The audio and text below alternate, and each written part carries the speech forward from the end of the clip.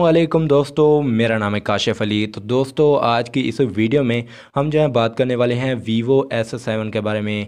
ये जो स्मार्टफ़ोन है वीवो की जानब से टीज़ किया गया है और यहाँ पर इसके कुछ स्पेसिफिकेशन भी लीक किए गए हैं।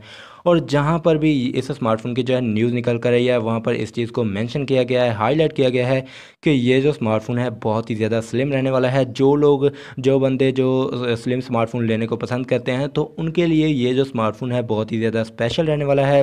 साथ ही इसका जो डिज़ाइन है, वो भी लीक किया गया है। फ्रंट साइड में हमें जो है वाइड नोच देखने को मिलेगा बैक में ट्रिपल कैमरा दिया गया है।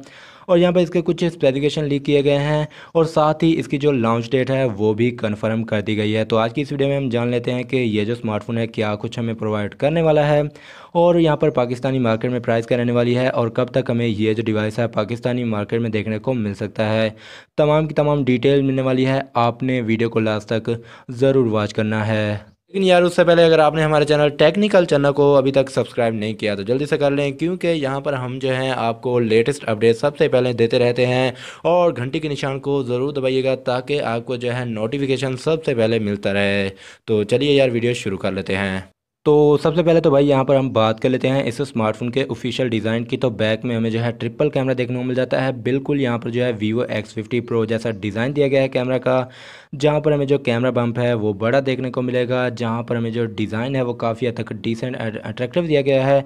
जहाँ पर गिलास की प्रोटेक्शन दी जाएगी, अभी तक कन्फर्म नहीं है, लेकिन यहाँ पर जो डिज़ाइन है वो काफ़ी हद तक कमाल का दिया गया है। फ्रंट साइड की बात करता हूँ तो यहाँ पर जो है इसका लाइव इमेज शेयर किया गया है लीक किया गया है। जहाँ पर देखा जा सकता है कि ये जो स्मार्टफ़ोन हमें वाइड नोच प्रोवाइड करने वाला है, जो कि यहाँ पर इसके जो बेजल्स हैं, वो भी काफ़ी कम दिए गए हैं और चिन को भी यहाँ पर जो है कम कर दिया गया है। और यहाँ पर ये जो डिस्प्ले है, एक 6.43 पॉइंट इंचज़ वाला एमोलेट कैपेसिटर टच स्क्रीन वाला डिस्प्ले दिया गया है, जो कि 1080 एटी के रेजोल्यूशन के ऊपर आने वाला है। कॉर्निंग गुरीला ग्लास की प्रोटेक्शन भी दी जाएगी और यहाँ पर हमें जो है इन डिस्प्ले फिंगरप्रिंट स्कैनर का जो है सहूलत देखने को मिल जाएगा। वेरियंट की बात करता हूँ तो यहाँ पर अलग अलग वेरियंट आने वाला है, जहाँ पर बताया गया है कि एट की रैम के साथ दो सौ का इंटरनल स्टोरेज आने वाला है, जहाँ पर हमें यूएफएस का स्टोरेज टाइप देखने को मिल जाएगा।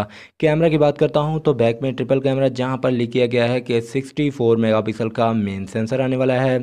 साथ में यहाँ पर हमें जो है 8 मेगापिक्सल का अल्ट्रा वाइड सेंसर देखने को मिल जाएगा और जो थर्ड कैमरा है वो 13 मेगापिक्सल का पोर्ट्रेट कैमरा रहने वाला है। फ्रंट कैमरा की बात करता हूँ तो डुअल सेल्फी दिया गया है, जहाँ पर फोर्टी मेगापिक्सल का सेल्फी कैमरा आने वाला है, जो मेन कैमरा है, और साथ में यहाँ पर हमें जो है एट मेगा का अल्ट्रा वाइड सेंसर देखने को मिल जाएगा। बात करता हूँ प्रोसेसर की तो ये चीज़ भी यहाँ पर कन्फर्म कर दी गई है कि ये जो स्मार्टफ़ोन है क्वालकॉम स्नैपड्रैगन 765G की चिपसेट के साथ में आने वाला है, जो कि बेसिकली एक 5G चिपसेट है, जो कि परफॉर्मेंस के मामले में नो डाउट यहाँ पर हमें जो है बहुत ही ज़्यादा कमाल का फास्ट परफॉर्मेंस देखने को मिल जाएगा इस स्मार्टफ़ोन में। जहाँ पर बात करता हूँ, इस स्मार्टफ़ोन के ओएस और यूआई की तो एंड्रॉयड टेन की अपडेट के साथ में आने वाला है, जहाँ पर यूआई जो है फन टच ओ एस देखने को मिल जाएगा। बैटरी की बात करता हूँ तो यहाँ पर अभी तक कन्फर्मेशन तो नहीं है, लेकिन लीक किया गया है कि पैंतालीस सौ की बैटरी आने वाली है, जहाँ पर 33 वाट तक की फास्ट चार्जिंग का ऑप्शन भी देखने को मिल सकता है, जो कि टाइप सी की कनेक्टिविटी के साथ में आने वाला है।